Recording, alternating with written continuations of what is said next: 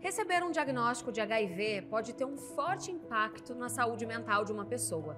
A vergonha, o isolamento e o medo da discriminação podem abalar o psicológico de uma pessoa soropositiva. E como buscar uma solução para isso? É o que a gente vai saber no vídeo de hoje, que vai falar sobre o Dezembro Vermelho, campanha de prevenção das infecções sexualmente transmissíveis. Fica ligado.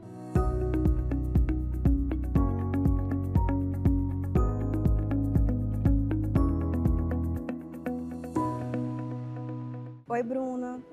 Então, é isso mesmo. Apesar de não ter uma correlação direta de 100% das pessoas ao receber o diagnóstico desenvolvem algum transtorno, alguma questão na área psíquica, o percentual é significativo.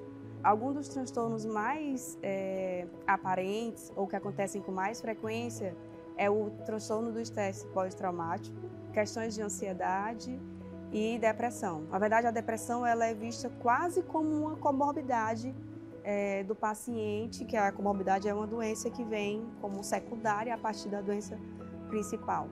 Né? Então, sim, existe uma evidência, uma prevalência significativa. E aí, assim, por que, que isso acontece?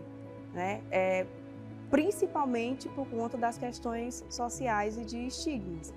As pessoas, quando elas são comunicadas, é, que elas recebem a notícia que ali tem existe uma, um choque, vem um turbilhão de pensamentos e fantasias sobre e agora, um sentimento de culpa, um sentimento de que vou ser rejeitado, como que vão ser meus próximos relacionamentos e o meu trabalho e a minha família.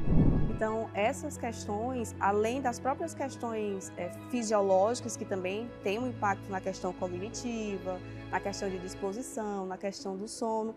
Isso acaba se somando, né, as questões fisiológicas com as emocionais, para contribuir para o surgimento desse tipo de doença, que principalmente o que acontece é o surgimento da depressão associada ao transtorno de estresse pós-traumático. E quando a gente fala de saúde mental, qual é o tratamento mais adequado para esses casos? Bom, independente de esse diagnóstico ser fechado ou não, é importante que esse paciente ele tenha acesso aos serviços de psicologia. Né? Ele vai ter um acesso a alguns serviços especializados para fazer o próprio tratamento e também ao serviço de psicoterapia, que lá ele vai ter um espaço específico e propício para que ele possa colocar as questões dele, as, fantasias, os medos, né, sem receio e trabalhar, desenvolver alguns aspectos e algumas habilidades de enfrentamento com relação à nova condição.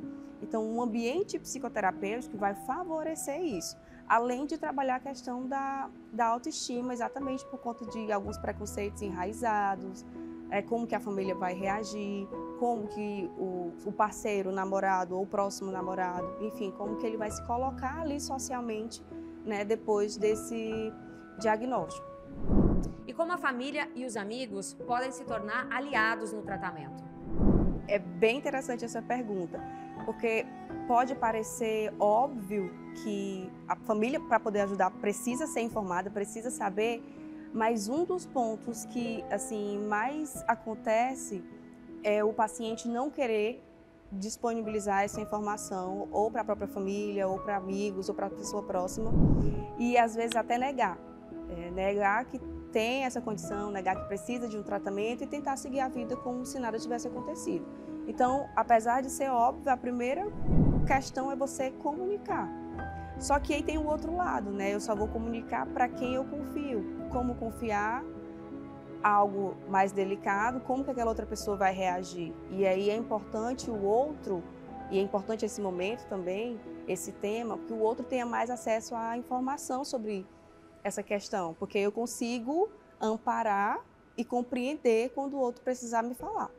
Então, assim, depois que a família, no caso, fui comunicada, né, depois que eu fui comunicada, eu vou estimular que essa pessoa busque tratamento, eu vou tentar ter uma escuta empática, eu vou participar de consultas, eu vou estimular que essa pessoa consiga fazer novos projetos, porque que acontece também, algumas vezes, as pessoas começam a ter um certo pessimismo sobre o futuro, sobre como que vai ser daqui a 5, 10, 15 anos. Então a família vai fazer essa rede, esse suporte é, emocional de cuidado, de estímulo e proteção desse paciente. Na Pague Menos, por meio dos consultórios Clinic Pharma, dois dos principais exames disponíveis em nossos consultórios farmacêuticos e que rastreiam infecções sexualmente transmissíveis são os de HIV e o de sífilis, que têm como objetivo a detecção precoce dessas infecções.